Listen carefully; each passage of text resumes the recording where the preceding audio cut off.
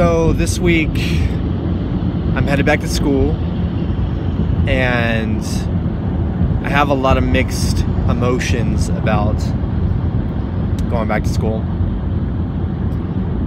Last semester, I took off, and I didn't fucking think twice about it. I'm like, dude, I need to clear my head. Um, I really, really wanted to double down on my strengths. So I started teaching martial arts way more. And I also started training a bit more as well. I did a competition. I went to Thailand for a month. That was very interesting. Did some training over there. I went to Koh Samui, Chiang Mai, I landed in Bangkok, but I really didn't like Bangkok too much. It was, man, it, it, it reminded me of like Vegas almost. Driving through Bangkok, like getting a taxi there, and oh my goodness, it was just it was so bad. Um, but I did have some really good food there, and I got a bomb ass massage, so that was pretty cool. But anyways, back to school. I did a lot of things with my time off, my time away from school, you know, traveled, teaching, training, competed in Brazilian Jiu Jitsu tournaments. I guess my main thing with taking some time off was really to get to know myself, if that makes sense. Like, I feel like when I first went into school, there was no self awareness there. There was no there was no interest there. It was wild. Like I went there just because it was the thing to do right out of high school, and that was cool. You know, I met a bunch of new people, but like I, I had I had no idea what I wanted to do. So my first year, I started with nursing. I switched to psychology, and I'm still sticking with psychology because I think that's what interests me the most. But still at this point in my life i i'm very very glad that i took a step back from school and i did things my own way. I got more in depth into what i already like doing and it grew to a real love where i'm i'm really starting to understand myself as a speaker, a public speaker, because if you know, if you're in any teaching whatsoever, you're probably going to have to do some public speaking when it comes to one on one with people or doing group fitness classes or teaching martial arts or whatever. And with the whole traveling and teaching and, and training experience, just like that being my main focus, I feel like it really opened my eyes to a lot of things that I do want to partake in and that I don't necessarily want to partake in. I realize that I'm very, very interested in psychology. I realize that I'm very interested specifically in uh, trauma of psychology, in that I want to continue growing as a instructor. I want to continue training. I want to continue continue to compete.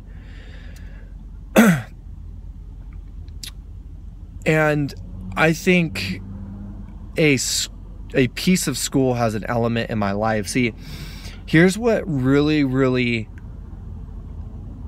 opened my eyes when I was doing school. When I was partaking in school and, and doing classes full time. And I was teaching and I was training a bunch. It hit me hard that when I was first getting into teaching, there was so much on my mind there was so much presence it was almost like I was meditating. That's how I explain it. Like if if it's hard for you to meditate like 5 minutes a day like it was for me at the time like 3 years ago, it was like I was meditating for several hours every single day with teaching and training because I was so new to teaching, I was so serious I was trying to really find my own style and to try to be light with my students and humorous with the people who were taking my classes, but I really didn't know how to do that. It was not natural to me.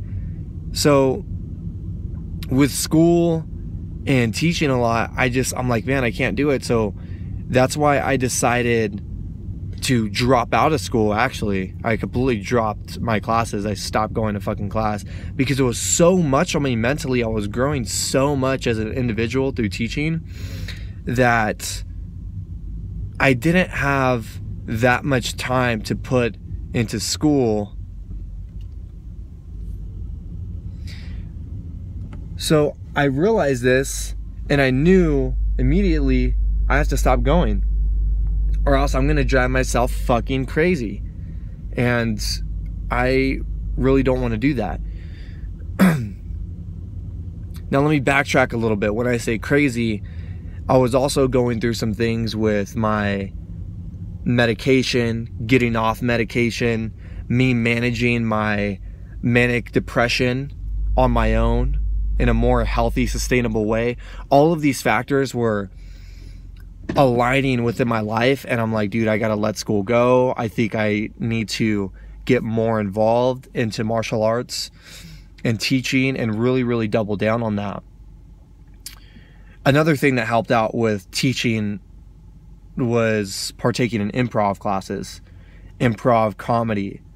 So I think I've done a handful of those so far, but I want to do it more consistently. Look into that. I, I really recommend improv if you're doing any type of teaching. It really gives you a different perspective and it it forces you to not take yourself too seriously and I think that's the that's the number one tool to realize and to utilize as an instructor is not to take yourself too seriously and to have a humorous side, to have a light side, to know that there's a spectrum of teaching when it comes to the dense, more serious energy, all the way up to the top of being super light, being open, being funny. So, yeah, anyways, I kind of went off on a rant there. I'm going back to school. I'm taking a child and development class and I think a writing class or something like that. I'm only taking two, but I'm very curious to just see how this is gonna go this school year is gonna go this semester. Just because i i know what i want exactly what i want and exactly i think what i don't want. School is there's such a long process to it. I mean there's so much bullshit. It's so cookie cutter in a lot of ways. There's i think 60 to 70% of school is bullshit.